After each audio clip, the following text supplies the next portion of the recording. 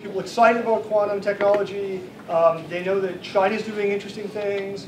Um, but it sounds a little bit like magic. Uh, part of that's the nature of quantum physics, which is a little bit strange, um, but also that it's, it's hard technically to understand. Um, we're very fortunate today that we have Dr. Michael Biercuk, um, who is a, a, serious technical expert on this. He's going to give a presentation about, um, you know, to, to us, right? To not everyone in the room, uh, I presume, is a quantum physicist, right? Uh, I know what this technology is and what it means for national security. If you've not seen his recent piece on War on the Rocks, I encourage you to check it out. Uh, we have some hard copies around, and it's a, it's a great kind of primer on this topic. Um, Dr. Biercuk is a professor of quantum physics and quantum technology at the University of Sydney. Um, he's also the CEO and founder of Q-CTRL, a quantum technology company. So he's in a great place to talk about this topic and uh, help us understand it better. Thanks very much. Great. Thank you very much. Thanks all uh, for all of you for attending. Um, are there any quantum physicists in the room? There's one. Sorry, you're going to be disappointed because this is going to be a pretty general overview. Um, I am excited to, to get to present to this kind of audience uh, because part of my background is I did come through the national security apparatus in the US government. I worked at DARPA for a number of years as a technical consultant focused on topics relating to quantum technology and, and other uh, uh, technical applications. Today I want to give a kind of overview of what quantum technology is, what some of the basic concepts are, and then I want to talk about some of the applications in the national security space that would be of interest to this audience. And, and really the motivation for everything I'll tell you about in this kind of first 30 minutes, and then we'll open it to questions, is the statement that quantum technology, which harnesses quantum physics as a resource, will be as transformational in the 21st century as harnessing electricity was in the 19th. century—I mean that seriously. I'm not just selling my own book. And I'll try and uh, give you some insights into why we think this uh, technology can have such significant impacts. So as, as mentioned, I'm a professor at the University of Sydney, where I run a research team called the Quantum Control Laboratory. I also recently founded a venture capital-backed startup called Q-CTRL, where we're looking to commercialize some of the work that my research team does. So to get started, I want to set the stage by helping you understand the relationship between this futuristic technology we'll be talking about and where we are today. Because there's often a lot of confusion about this. This is obviously a, a picture of microprocessors. These are the fundamental things that make all of our information technology work broadly applicable in pretty much everything that we touch on a daily basis, and of course that carries over to national security if we're talking about C4ISR and related things. These are devices that you may not know, work because of quantum physics. These are devices made from materials called semiconductors, which either behave like an electrical conductor, allowing electricity to flow, or like an electrical insulator, preventing the flow of electricity, depending on the application of another electrical signal. Controlling the flow of electricity with electricity is the fundamental capability that has given us the information revolution and it comes because of our understanding of quantum physics. Now, these things are really quite profound. They're remarkable pieces of technology. The most modern ones will allow us to have over a billion switching elements called transistors and a chip roughly the size of your thumbnail. It's absolutely a technical marvel. But in terms of quantum technology, this is what we sometimes call the first quantum revolution where it's really a rudimentary level of control that we're able to exert over the system in terms of quantum mechanics. So the analogy that we use is that building this kind of technology is a little bit like building this. You can start with bulk material, a giant pile of sand, and you can learn the right rules to sculpt magnificent forms. Just like you can sculpt a billion transistors onto the surface of a semiconductor chip. You can do really profound and remarkable things with this kind of approach. But it shouldn't escape your understanding that if instead of looking at the bulk properties, at the giant pile of sand, if instead you were able to look at the individual grains of sand, you would see a level of complexity that is just not present in the giant pile. Instead of sand that's kind of a homogeneous tan, you see that there's huge color variation from white all the way to red. You see that some of the grains of sand are pieces of seashell, some are stone, some are transparent, some are opaque. All of this complexity is washed out when you only look at the giant pile of sand. And the way we build our technology today, even though we're leveraging quantum physics and semiconductor technology, is like building the sand sculpture from the giant pile of sand. So if instead we look at the opportunity to examine and then exert, exploit the individual grains of sand technologically, we have really profound new applications. So the idea is to go all the way down to the base level, where we start examining how we can control individual quantum systems. This is something that we call the second quantum revolution. The idea not of examining and harnessing only the bulk properties of quantum mechanics, but this new level of complexity that emerges when we gain access to this individual grain of sand. And before any of you kind of laugh at the notion of building technology from fundamental particles that obey the rules of quantum mechanics like atoms, I'll show you this. That's a picture, a photograph of one atom of a species called ytterbium in my laboratory. That's one atom floating in space in something called an ion trap, where if we shine on a laser of just the right color, the light bounces off and you can take a picture. It's a real photograph of one atom. Now what's really exciting is that with this kind of technology, we get down to the level where we're now able to access the individual grain of sand. We're able to access the new complexity that arises when we have access to systems on this scale, because the picture that we have of atoms and other particles like electrons as billiard balls that bounce off each other or off the walls is wrong. It breaks down at these tiny scales, and we have to replace it with a picture in which we conceive of them more like waves. Waves that can spread out in space in something called quantum superposition. Waves that interfere with each other or even with themselves. And on these scales, nature even appears to possess a little of what I'll refer to as magic. The idea that quantum systems can exhibit what's called entanglement, a link that is not describable by classical conventional physics, such that if you take an entangled pair, you separate them the distance of the universe, you manipulate one, the other instantly is affected. We fundamentally don't understand why this works. All we know is that now it's real. Because these phenomena were derided by the greatest minds of the 20th century. The people who invented the field of quantum mechanics thought all of this was simply incorrect. Einstein famously called entanglement spooky action at a distance, in a pejorative way. And even Schrodinger, who was one of the fathers of the field, dreamed up a Gedanken experiment, a thought experiment that many of you will have heard of in the popular press, called Schrodinger's cat. He set up a framework in which, according to the rules of quantum mechanics, under his thought experiment, you would result in a situation in which a cat could not be described as being alive or dead, but both at the same time. This is Schrodinger's cat. It's a famous parable now that was used originally to show that quantum mechanics was nonsense, that it couldn't be true, that despite this weird math, it was not a physical description of reality. And what we've learned over the intervening period is that that's not correct. That in fact, this is the appropriate mathematical representation of what's going on. And in our vernacular, we struggle to explain what's happening in this system by saying it's alive and dead at the same time. English is not appropriate for quantum mechanics. That mathematical representation is. So we often struggle with that disconnect. But we now know, going back to work from the 1980s and 1990s, that resulted, for instance, in Dave Wineland and Serge Haroche winning the Nobel Prize in 2012. Dave Wineland was my supervisor when I was at NIST in Boulder. That when we access the individual grains of sand, the individual atoms or other subatomic particles, this physics becomes apparent and accessible and controllable in the laboratory.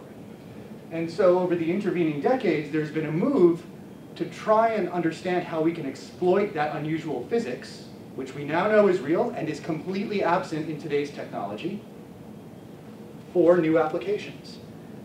And we saw just in March this year that The Economist, which is not exactly a uh, very forward-looking uh, uh, journal in terms of making speculative claims about technology, even featured quantum technology on the cover as part of its quarterly essay on new technologies. And our team was featured in this for one particular application, which is quantum computing, that I'll tell you about in a few minutes. But to understand the space of what quantum technology can do, it's actually useful to look at one document that's gotten a little bit ahead of the US apparatus, uh, which is the, in my view, unfortunately named Quantum Manifesto from the European Union, where in about 2014, 2015, they put out a document about research funding. This is, this is not a national security document, it's a research funding document that underpinned a billion dollar, a billion euro investment in uh, this kind of field, where they showed a progression of different technologies from effectively today out to 20 years from now, and how, that they, how they would support them. In today's talk, I'm going to focus on, on three. So those are atomic clocks, quantum sensors, and quantum computers. But there's a fundamental link that all of them are based on the same thing. Now, I don't mean they're all just based on quantum physics, because of course they are.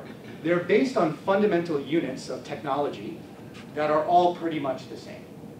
So as we start describing how some of the basic things work in terms of atomic clocks or in terms of quantum sensors, all of that same physics carries over to this much more profound and impactful application of quantum computing. One thing I would like to say is that while I don't have time to survey all possible ways to realize quantum technology, there are broadly two classes of system that we use. Sometimes we use real atoms, like in my lab, we actually trap individual atoms and we can control them with lasers and microwave systems. But we also build synthetic atoms. We build synthetic systems that obey the same rules. There are various ways you can do this. Uh, I'm happy to answer any questions about how this happens. But this is the general paradigm, and all of the physics that I'll talk about, all of the applications that I talk about, cross over between these two approaches to building technology. One concept that's really fundamental to all of the technologies that I'll talk about today is a relationship between physical reality and quantum mechanics and this cartoon. All of you have seen a cartoon like this trying to represent an atom, right? An atom which has a central nucleus and then electrons that whiz around in these orbits. Now this is obviously not the reality of how matter is described, but it's a cartoon representation of things that are real in quantum physics. The idea that the electron, this outer part of the atom, can be here but not here, or here but not here. That's quantum physics. These two things that I've drawn in quantum mechanics are distinguishable. You see that the electron here is whizzing around that way, and the electron here is whizzing around that way. They're different. And in general, they have different energies. One is more energetic than the other. There is a link in quantum physics between energy and time. That this energy difference can be linked to a frequency, a period of oscillation. And with that period of oscillation, we now have something by which we can measure time.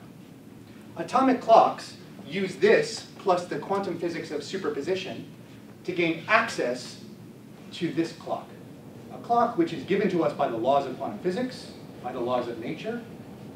Right? Atoms are not synthetic in this sense.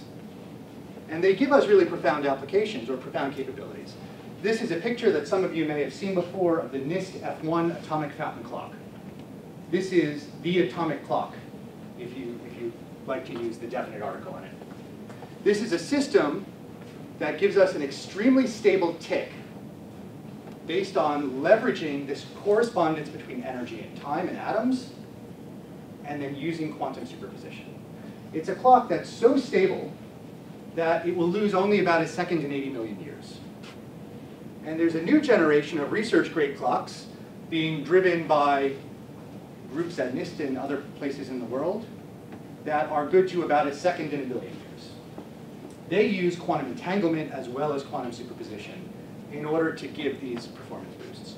Now, I'm sure some of you will say, why do I care? I'll long be dead before I lose a second.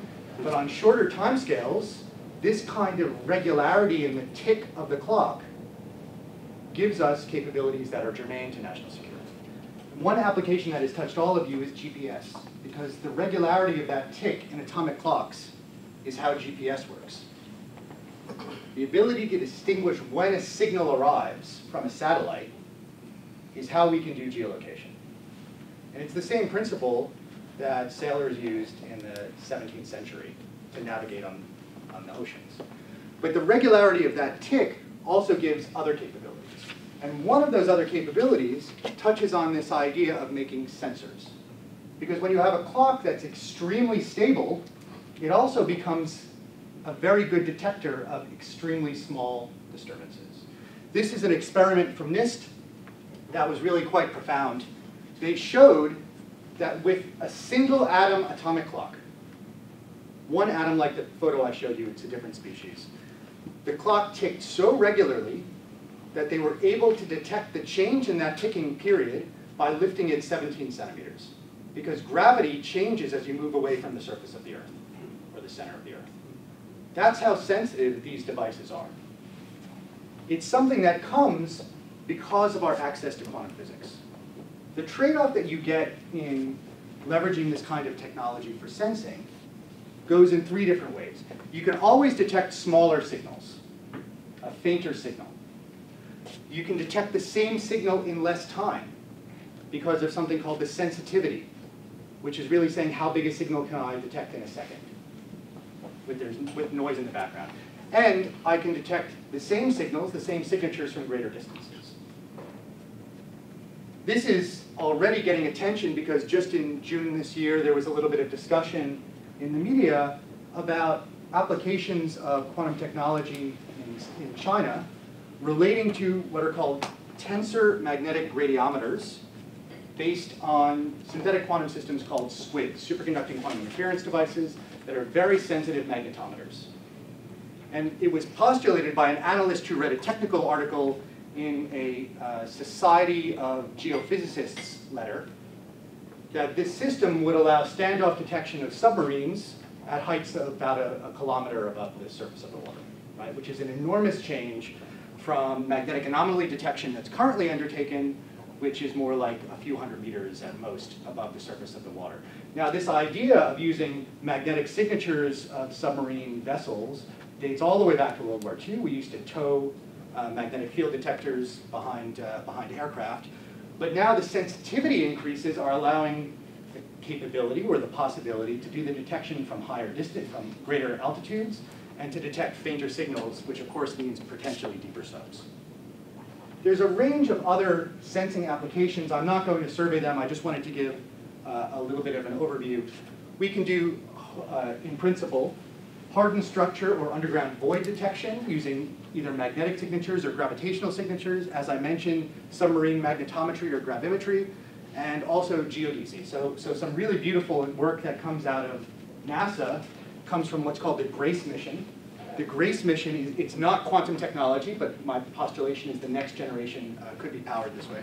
The GRACE mission enables the detection of changes in the Earth's gravity with reasonable spatial resolution as you see here, where if you do the same measurement at different times of, say, the year or over different years, the only thing that really fundamentally changes is how much water there is in aquifers.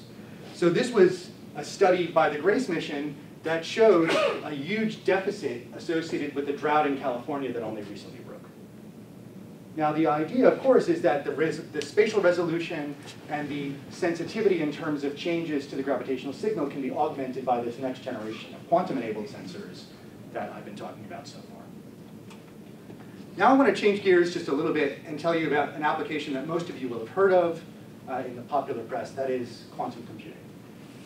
The idea of processing information using the kind of physics that I told you about in the beginning of the talk. So I want to ask you a math problem that really sets up the whole field of quantum computing as it exists today. Given one number, a target number, tell me the two numbers that are divisible only by one in themselves that you multiply together to get that number. So if I tell you 15, you tell me? Yes. Let's do another one. Seven and three. One more? so it, it looks ridiculous, right? It's a cutesy joke. But the fact is the only reason all of us were able to answer the first two was because we memorized them when we were children. We memorized multiplication tables. This problem, finding the prime factors of a large number, is hard not just for people, but also for computers. In fact, it is so hard for computers that this idea, finding the prime factors of long bit strings of large numbers, is fundamentally what gives us security in all what are called public key crypto systems. If you ever use a browser that says HTTPS, if you ever use a STU or a STI, you're using public key crypto systems. You are relying on the fact that this math problem is really hard for computers. In fact, it's so hard that in many cases it's postulated that it would take longer than the age of the universe to crack some of these uh, encryption algorithms. Now that kind of changed in the mid-1990s with this guy. His name is Peter Shor. At the time he was at AT&T Labs in New Jersey. He's now at MIT. What he did was write down an algorithm that said, if you have access to a computer which can encode information using quantum physics, of the sort I've been talking about so far, then you can run an algorithm that allows this particular problem to be solved exponentially faster than any competitive classical algorithm that we know of today. Now that was obviously a huge thing. It was a big motivator for the security apparatus in the United States. It led the National Security Agency to begin their first ever university-based research effort, trying to ask the question of whether this kind of system could in fact be built. It led to an agency, a sub-agency called ARDA, that's since transformed into a variety of other agencies. Now it's IARPA in some form. All asking the question of whether this could be done. This was the birth of a modern field of quantum computing. And I want to explain for a minute how it works. We can go back to this cartoon representation of atoms, where I told you before that the electron going around this way and the electron going around this way, they're distinguishable, they're different. Well, now I can just assign a 1 or a 0 and have a way to encode information that's a little bit similar to the way we encode information in classical bits. This is something we call a qubit, a quantum bit. It can be 1 or it can be 0. But because of the rules of quantum mechanics, we know it can be 1 and 0 at the same time in this vernacular language. And to borrow a joke from Dave Wineland, this was something that they realized in the lab and called Schrodinger's kitten. The idea that at the single atom level you can realize this unusual physics of quantum superposition. If you can do it with the atom drawn that way, you can also do it with information. You can make information that can be represented as superpositions of 1 and 0 at the same time in our vernacular language. The power of this capability really comes clear when we start thinking about more than one quantum bit. Let's go to a byte. Let's think about one classical byte, 8 bits. We know that with that 8-bit system, we can represent one 8-bit number, that is one number between 0 and 255, that's 2 to the 8 minus 1, any, any number. Here I've just chosen one. If instead we use quantum bits and exploit both superposition and entanglement, an 8 qubit quantum byte allows us to represent all 256, all 2 to the 8 possibilities at the same time. Now I've only drawn a quarter of the possible information space. The idea, of course, is that by representing information in this way, there is what is broadly and kind of incorrectly referred to as parallelism in the quantum system. The real trick is that understanding what to do with this is a very hard problem. Understanding how to put that enormous information capacity to work to solve useful problems is the subject of a field called quantum algorithm design. There are only a few algorithms that have been devised. Shor's algorithm is uh, one of the best known, the one I talked about a moment ago for factoring. Others are emerging now. Turning this into something useful remains an open problem, but it shouldn't be too hard to understand that it could, in principle, be very powerful. In fact, that argument has convinced some pretty serious places, like the Information Assurance Directorate of the NSA, which oversees the national security suite of, of uh, cryptographic algorithms, to issue an FAQ about quantum computing in which it said the potential impact of adversarial use of a quantum computer is known, and without effective mitigation is devastating to the NSS. Again, not an agency that tends to brag too much or to overstate what they perceive as security risks. Now what's happened is that since the real effort in building Shor's algorithm processors uh, commenced, we've learned that the challenge of making these systems at scales that are relevant to actually cracking codes is probably much harder than we originally expected. There was a uh, really nice academic paper that a couple of years ago estimated how big a system you would require and how long it would take to factor a 2048-bit number, which is what we use if you have an RSA token. And the number of qubits was between 50 million and 3 trillion. And remember, you have about a billion transistors on today's most advanced microprocessors. We're now talking about something maybe a thousand times more complicated than that in order to run Shor's algorithm at a scale that matters. For comparison of where we are kind of today, we're talking about systems like this. Today's most advanced processors are right around here, between 16 and 20 quantum bits. In the last couple of years, we've seen big media around 5 qubit devices from IBM and IonQ. IBM just recently had a lot of press about a 22 quantum bit device. IBM and Google have been uh, publishing battling press releases about eventually making a 50 quantum bit device. And then my projection is that in the next seven to 10 years, we'll be at a scale of roughly 1,000 quantum bits. Roughly 1,000 quantum bits is roughly a billion times smaller than you would require to run Shor's algorithm in that kind of worst case scenario. So it remains a long way to go before we have systems that are relevant for factoring. But that technical challenge has been a huge motivator for our research community, and it's pushed a lot of people in algorithm design to think about new applications that may work on much smaller computers and could have equally profound impacts in the national security space. This is work that comes from a team based at ETH Zurich and Microsoft in Redmond that looks at what we now consider to be the most likely killer app for small-scale quantum computers. This paper postulates that with a system of about 1,000 qubits, about the size I postulate in 7 to 10 years will be a reality, that they can attack problems in chemistry that are very hard for conventional computers. Because chemistry, of course, is a process governed by the rules of quantum physics. It's electrons interacting in chemical reactions. That's very hard to model with conventional systems. And when you get up to reasonably complicated molecules, it's pretty much just impossible. One problem that falls into this category is something called nitrogen fixation. So it's making ammonia-based fertilizer. Making fertilizer is currently done using what's called the Haber-Bosch process, which is about 120 years old, and it consumes roughly 6% of the Earth's natural gas output every year, just making fertilizer. It's extremely inefficient, extremely energy intensive, because we don't have a good catalyst. We don't have a good accelerator for this reaction. And yet biological systems do this all the time. We just don't know how.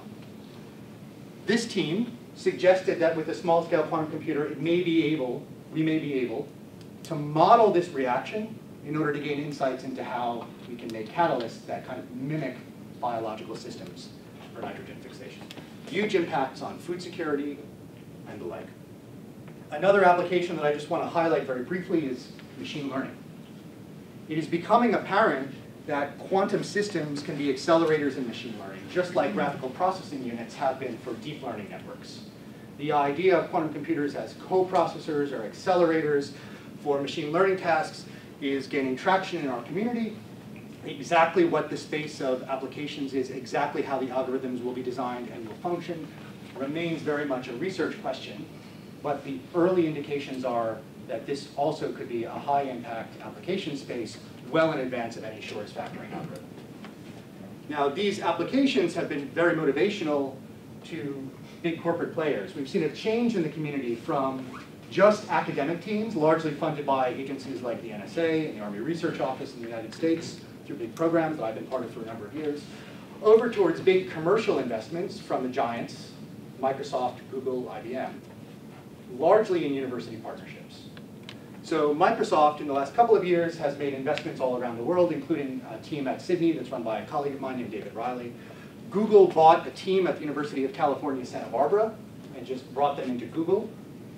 IBM has had a large quasi-academic effort for several decades in this field, but has really ramped up in the last three to five years as overall interest in commercial applications has increased.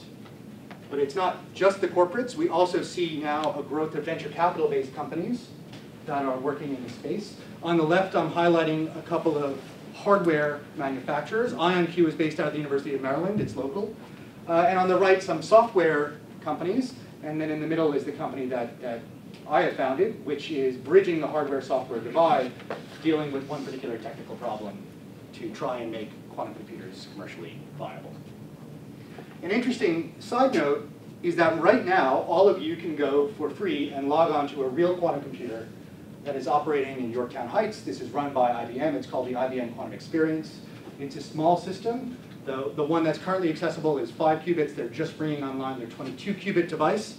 It's really no more than a toy in terms of what it can do, but it's really an amazing piece of hardware in terms of helping our community start doing algorithm development.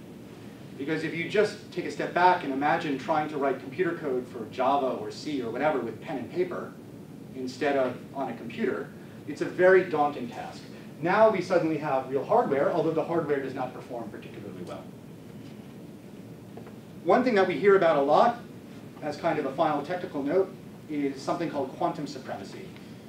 You hear this in the popular media because Google has been making a very big push on achieving quantum supremacy.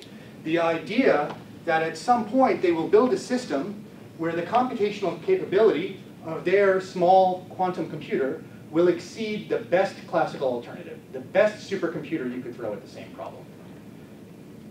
Computer scientists have postulated that that transition comes roughly around 50 quantum bits. That this changeover between what the thing on the left can do and the thing on the right can do is roughly 50, which is in the timescale of the next couple of years. The important caveat is that computer scientists and quantum computer scientists have really been contorting themselves to come up with problems that give quantum supremacy an edge, that actually work better on a quantum computer than they do on a classical computer. So a very important takeaway is that quantum supremacy does not equal utility. If you build a quantum computer that achieves quantum supremacy, it is a, an essential technical milestone in our research discipline. But it does not mean that that system can either do anything that you would ever want to do, other than some esoteric math problem that computer scientists cooked up for this application, or that the path to large-scale useful quantum computers is any clearer. So please don't be confused by the hype. It is an important milestone, but it is not the be-all, end-all of our research discipline. I want to leave you with one thought, which is this is a quantum computer made of trapped ions running a small algorithm. It's about 20 quantum bits. It's work done by my research fellow, a postdoctoral research fellow, Cornelius Hempel, when he was at the University of Innsbruck, another big global leader in this space. If you squint a little bit at that device, where each blue dot is one atom, maybe it looks a little bit like some systems that you would see from the 1950s. The point is that on the te technological arc of development for quantum computers, we're in very, very early stages. The systems we're building are very simple, they're extremely large, they don't really do very much. But the trajectory towards useful quantum computers is accelerating. As smart people start thinking about algorithms that can run on much, much smaller systems, kind of being forced by the challenge of building large-scale factoring engines, and how resource intensive that is. And I think we'll be seeing actual applications of real quantum computers in, within this next decade. But what is most exciting to me as a scientist is that if you look through history, especially in the development of computer technology, you see that the applications that are most profound are the ones that are least anticipated.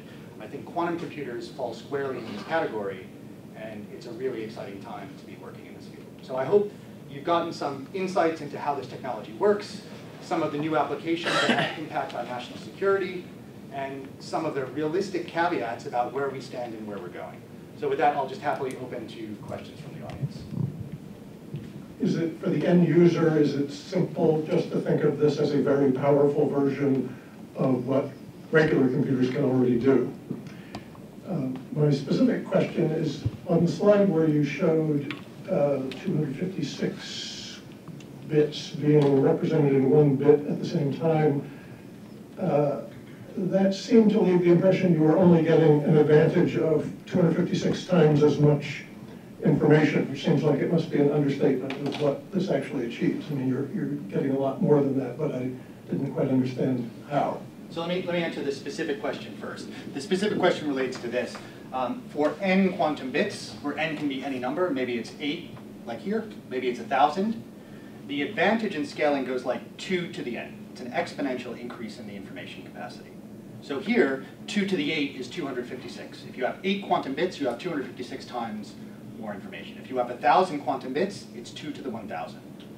An important, you know, kind of scale to set there is if you have 300 quantum bits, 2 to the 300 is about 10 to the 100, which is a googol, which is a number so large that if you tried to build a conventional computer that could represent, just like I've written out all the possibilities here, if you tried to represent all 2 to the 100 possibilities, you would run out of matter in the universe before you could build that system. That's with just 300 quantum bits. So the scaling is, uh, well, this exponential scaling is quite important in terms of the general capabilities. Of course, as I said, understanding how to leverage that information capacity is a challenging problem in algorithm design. Because we only get one n-bit number out at the end. We measure, we destroy all the quantumness. Uh, to, your, to your more general question, um, I think that's maybe more philosophical than anything. Um, if you have a clock in your computer that runs at a gigahertz or something, do you care what defines that clock? Do you care if it's a quartz oscillator or a BBA oscillator or if it's a voltage controlled oscillator? I think at some level, technological users are able to abstract away what is giving the performance advantage and just take advantage of that performance. Quantum computers may be similar. Uh, it may be that for a long time they'll only be mainframes and cloud-based, and it may be that in the longer term we understand how to make them stable enough to be deployable, and then it just becomes a little black box, probably honestly as black box as any microprocessor is to a generic user. The, the slide you had on uh, speculating about Chinese developments with, you know, underwater quantum sensing was frankly eye-opening. Wondering if you have the impression that potentially adversarial countries like China and Russia are more advanced than the U.S. defense industry when it comes to applying quantum technology to uh, sensing or other defense technologies. And a related question, when it comes to the farthest, you know, advances in quantum computing, is the knowledge relatively shareable, transferable, open source, or is it very proprietary? For example, if, if Microsoft or Google or um, others make an advance, do they, do they tend to share that with the academic community, or do they keep it proprietary, proprietary control over it um, so that nobody else will be able to catch up with them? One important uh, idea that I want to leave you with is that the advances we're seeing in quantum computing are not because of the entrance of corporates. Corporates are entering because academics are making big advances. And so mostly these big corporates, Microsoft and Google and IBM, are buying academics, bringing them into their corporate structure. And our nature, I would say, is broadly to share as much as possible. Now, I don't have detailed insights into how these companies work, but broadly, at a, at a you know, prima facie level, they're quite open about sharing what's going on because it's at such an early stage of the development. It doesn't make sense to try and lock things up. Um, and I would say that will probably continue for some time. I'm sure they'll do some things behind the curtain. Uh, as for China, um, for a long time, China has lagged very significantly in quantum technology, except in one very specific application, that is quantum communications, which I didn't talk about today. What they've started to do is buy back scientists who have gone and spent time in the West, and so they just bought back a gentleman who was working at Google, as far as I understand, in this, in this real leading edge team. They, they went from no publications in the, this special field of superconducting quantum computing to having characterization of a system that rivaled the current Google prototype in about three years. Um, how that will expand, I don't know. Um, if they keep buying back, it's, it's a risk, uh, honestly. Um, right now, I mean, I know we speak about adversarial nations, but the fact is that from a research perspective, this is very open and collaborative. It is very much a global effort. We try not to build walls, again, because it's so early. Uh, for Russia, Russia has been quite silent for many years. Throughout the development of quantum information, there has been nothing, really. Uh, and just recently, there was a link on a paper from Harvard to what's now called the Russian Quantum Center, which not a lot of people know about. I mean, I, I didn't know very much about it before this announcement. But there's one academic at Harvard named Misha Lukin who kind of bridges both worlds back in Russia and, and at Harvard. Um, how much work is actually going on in Russia is not clear. By contrast, China just announced this $10 billion investment in quantum technology. Billion with a B. Um, Back in uh, 2003, in journal ACM, Shor had a paper with the title, uh, Why Haven't More Quantum Algorithms Been Discovered, right? And uh, the classes of algorithms in that paper, uh, quantum Fourier, Fourier techniques, uh, am- amplitude amplification, um, Grover, Shor's, they're still the examples we use today. Um, Let me ask you the same question that he asked in his title. Why haven't there been more quantum algorithms? And where's the next big idea in terms of the algorithmic application of these cool physics? Yeah. So, so the hard part is that, you know, I- I've clearly glossed over this in some way. It's a very profound question. Why are there not more quantum algorithms today? Um, To summarize the process, you take n bits of information, you put them into a quantum computer, you can make this information space of two to the n, right, possible pathways, if you will. But then at the end, you do a measurement and you only get n bits out. You destroy the quantumness when you measure the quantum computer. So you go from classical to quantum back to classical, because it's the classical information that you need to use. That means that the algorithm design has to be robust against that challenge. So far, Shor is one of the few that has shown uh, that you can actually fully utilize this exponentially large information space. Not even the Grover search algorithm does, it gives only a quadratic improvement, and it does needle and haystack kind of problems. What we've now seen is that chemistry, which has the same state space as the computer in terms of uh, this exponential scaling, is what we believe is the most likely killer app. So the, uh, the uh, uh, Journal of American Chemical Society or some other chemical society journal just had on its cover the idea that quantum computing is, is going to be the newest tool in computational chemistry. Uh, That material science and broadly a class of what we call quantum simulation, building quantum scale models of problems that are very hard for classical machines, like, uh, like building a scale model of an aircraft in a wind tunnel, that kind of approach is what we think will, will give some benefits.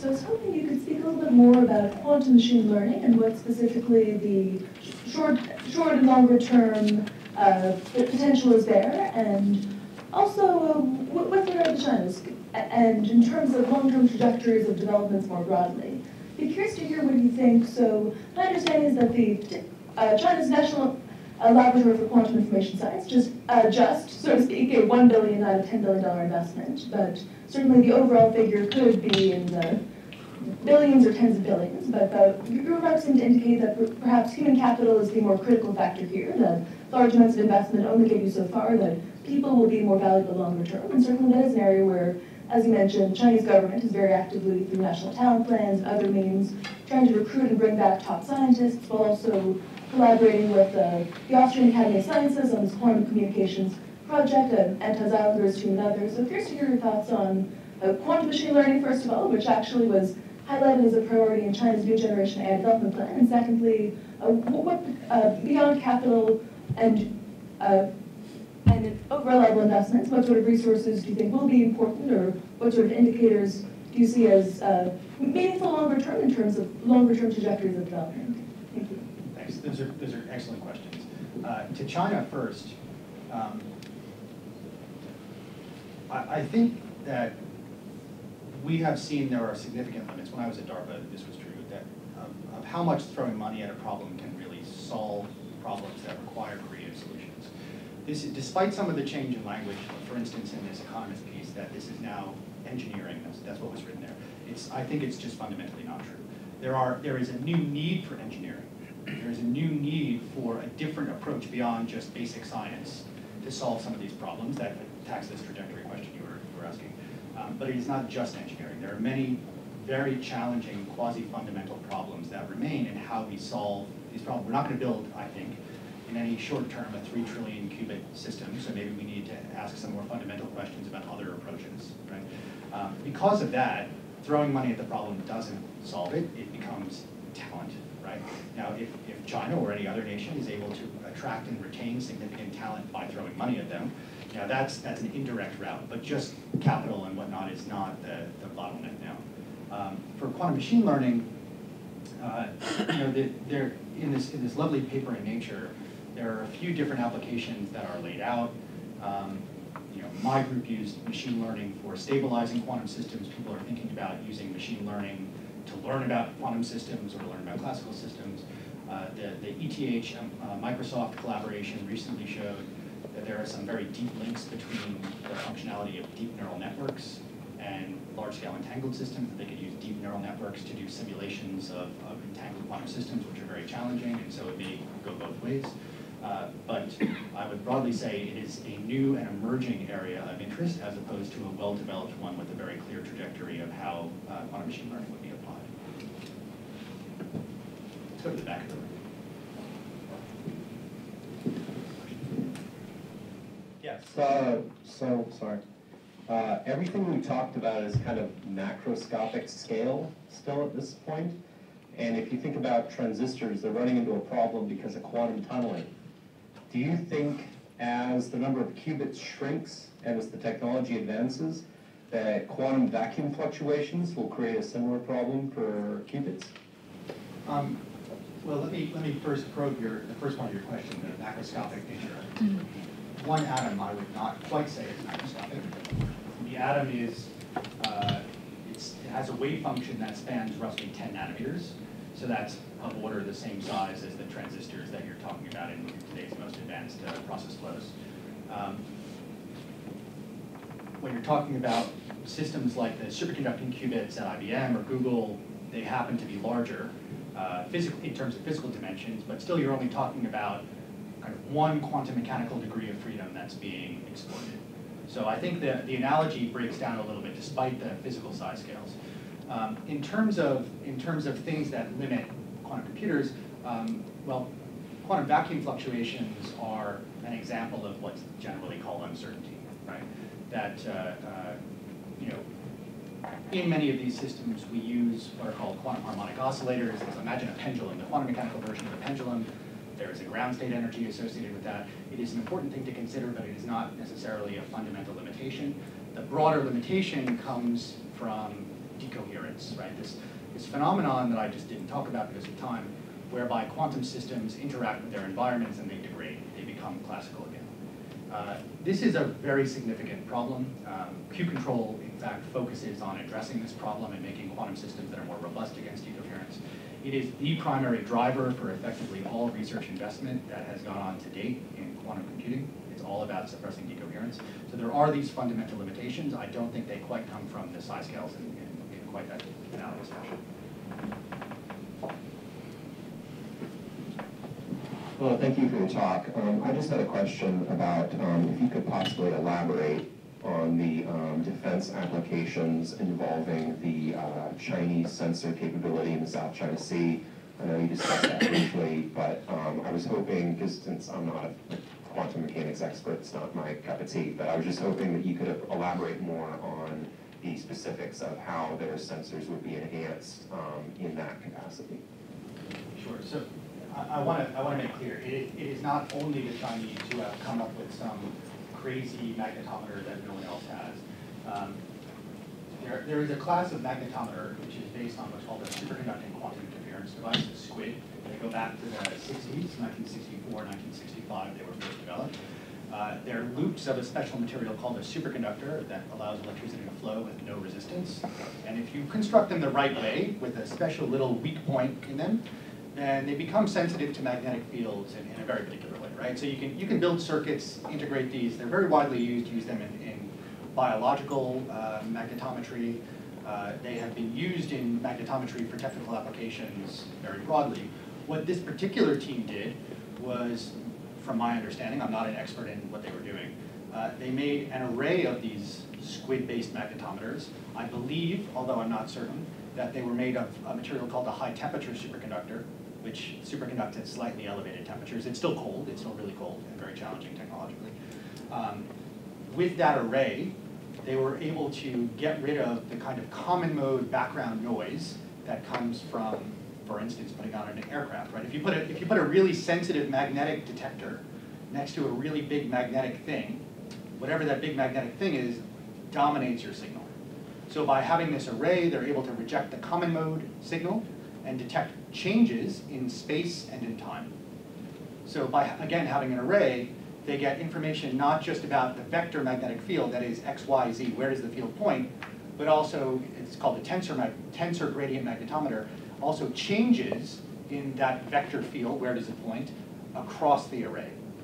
Um, because it's a squid, it's very sensitive, a squid-based device, it's very sensitive, because it's in this array configuration, it gets rid of the common mode noise, so it makes it more useful.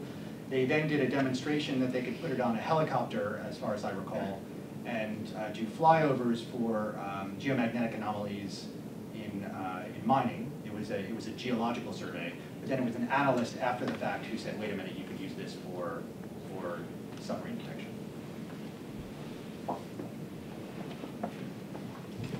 Thanks. I'm Mike Clauser with Fujitsu. Um, so two questions. My understanding is that to run a computer quantum state, it requires extremely low temperature, something like negative 200 like Kelvin. So could you talk about the power necessary uh, and energy consumption for quantum computing, some of the costs? And also, I was wondering, does uh, does Moore's law hold with quantum computing, or is, has there has there been a new sort of time frame Moore's law that's sort of emerged on quantum development? Um, Okay, these are great questions.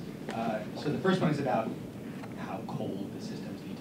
Uh, Broadly, yes, the systems need to be cooled. If, if it's the kind of system that IBM is operating, they have to be cooled in what's called a dilution refrigerator to fractions of a degree above absolute zero. If you're dealing with a trapped ion computer like I'm talking about, the whole system macroscopically is hot room temperature, but we use lasers to cool the atoms to actually much lower temperatures. Uh, These are not efficient systems. These are, you know, laboratory scale giant systems that consume many, many kilowatts to have just a few quantum bits. Um, You know, in some respects, that's similar to what we've seen in the development of, of large-scale computers from the ENIAC forward. Uh, I think this idea of power dissipation will be one that gets addressed as we move into more engineering focus. Um, Sorry, your second question was? Moore's law. Moore's law. Um, So, so the first thing to say is quantum computing is not a drop-in replacement for the next generation of roadmap planning in ITRS or something. That- That's, I know that's said frequently, but it's not true, right? Um, If there is a full death of Moore's law, um, the first thing to say is if Moore's law falters, like, nobody cares. It's just the industry enforcing on itself competition. It's not, it's not real, it's not fundamental, it's, it's market. Um, if Moore's law actually absolutely fell apart and we stopped having advances in classical computation, then we would also stop having advances in quantum computers because we need new capabilities in classical computation to make quantum computers work, to power them alongside. Uh, people have been quite cutesy in our field and tried to apply Moore's law to you know, every aspect of quantum technology, from how long a quantum bit lives to how many quantum bits you can make on a chip. I mean, I think that's, that's more sales pitch than, than anything else. Um, the, the, the message I want to leave you with is we need both. It's not a drop-in replacement. We need advances in classical computing. Quantum computers will be, at least in the nearer term, a kind of uh, co-processor, an accelerator in the way that GPUs were, graphical processing units were initially. Obviously, we started out doing graphics rendering, and now we do all sorts of insane things with machine learning with GPUs. Quantum computers may face a similar trajectory.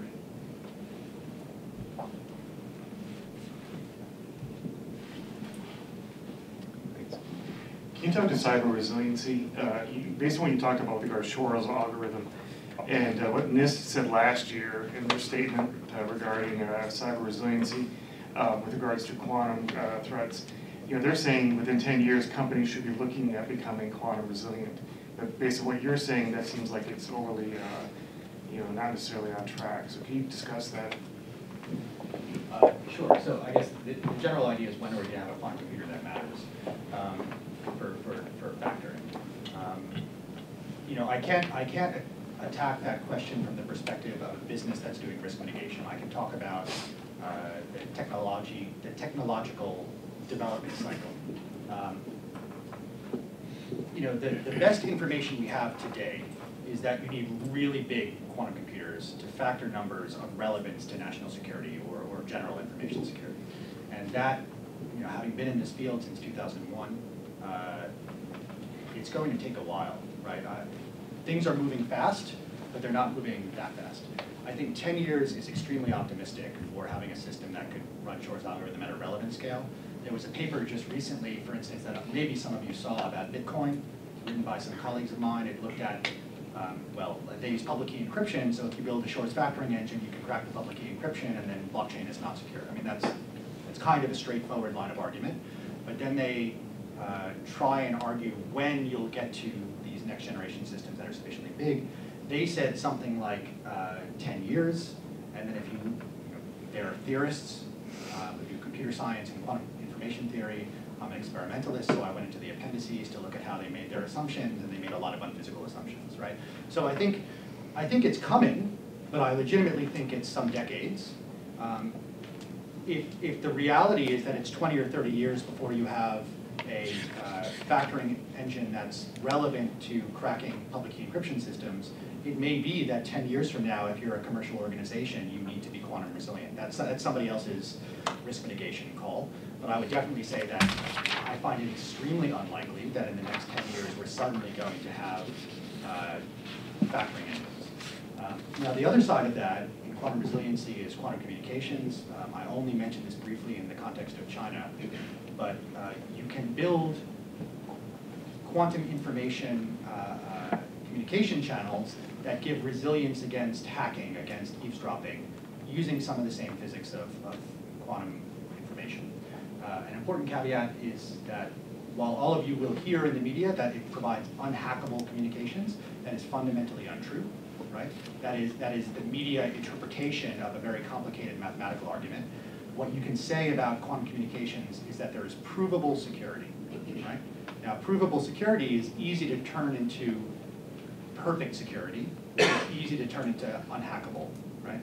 Um, provable security has a mathematical meaning in the cryptographic literature. It talks about the likelihood of unexpected eavesdropping. There are benefits that come from using quantum communication channel, but they are not uh, they are not impervious to attack. In fact, there's a whole line of research that looks at developing attacks on quantum key distribution systems, right? So it, it, it's not perfect, but it is a new way of uh, giving encryption resiliency for, so far, the key distribution problem.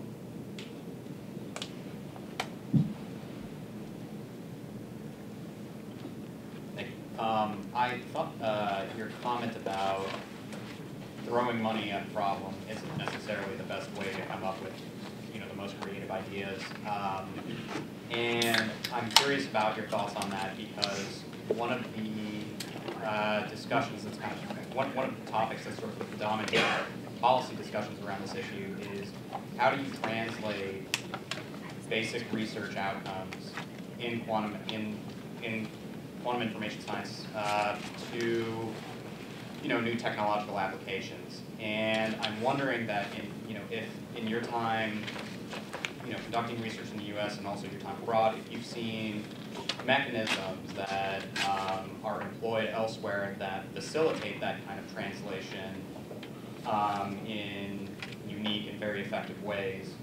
Um, and if those are mechanisms that should be uh, considered and maybe even adopted by various federal agencies here.